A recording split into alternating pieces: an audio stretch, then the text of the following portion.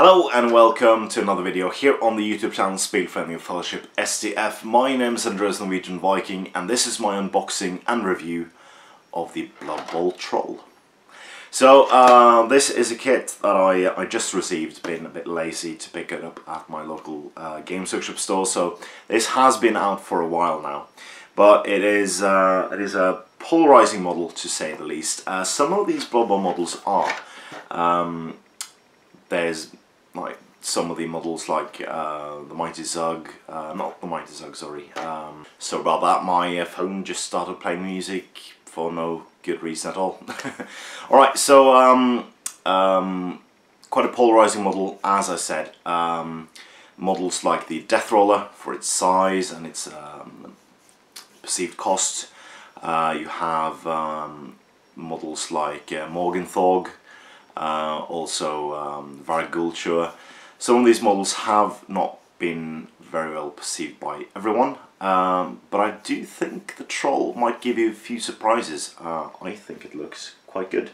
Uh, it might just be the photo they use um, um, for, for the packaging and uh, promotion. Uh, I think some people have put it together and uh, also the 360 shot on the Games Workshop webpage does show it in uh, quite a different light for some people.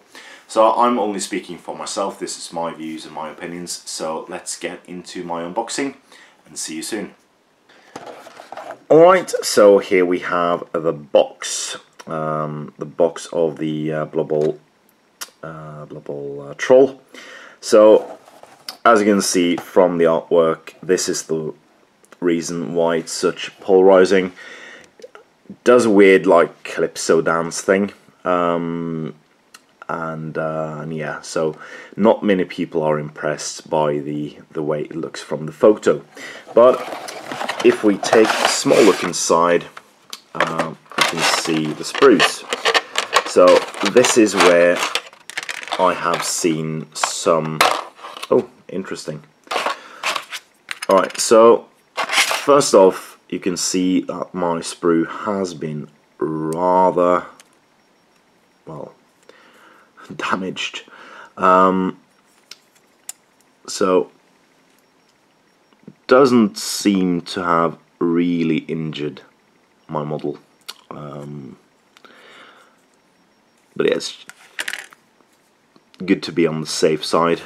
So it has been broken in two places. This one isn't that bad uh, and but this one did look quite horrible. Luckily, uh, not a piece I had too much going for it. Alright, so it looks looks quite good. So this is what you get inside the box. You get the two sprues and you get a base. The base is slotted. Um, again, funny because the uh, model itself is not slotted at all. So um, I do think that it is because of the ball ball pin but why not do exactly like they do for the Forge World models? The Forge World models also includes a 32mm base without a slot. So I would rather they did that than um, than just have this one because it's a well it doesn't take that long uh, but filling this off with masking tape is something I would rather not have to do alright so looking at the model itself, it is um, a bit hard to, to imagine how it fits together once um, once it's all said and done. But looking at the detail, it is what you expect from a game such a plastic kit these days. It has such detail. Um, it is um, by far in my opinion, um, one of the best plastic miniatures manufacturers in the entire world. And that hasn't actually changed for the last like 10 years. Ever since they started doing their, um, their new style sprues with loads more um, components per sprue. Uh, also, the way they inject the, the plastic and the way they actual uh, actually do the plastic, uh, it means that they can actually now have a uh, mold that has details in for uh, from various size uh, sides so you can have uh, series undercuts of models where it couldn't before so um, the model itself looking at the instructions you, you have a good few pieces to glue on before it's all said and done. And it it does not look that bad, I think. Um, I would personally rather it was stoic, just like the dumb troll. Um, you could release another one for the Goblin team when those arrive um, that has um, him throwing a goblin, or throwing a goblin could be optional. But in this uh, sprue, uh, it is only one way to assemble it without heavy, heavy um, conversion. So you, you'll have to um, model it with the throwing goblin.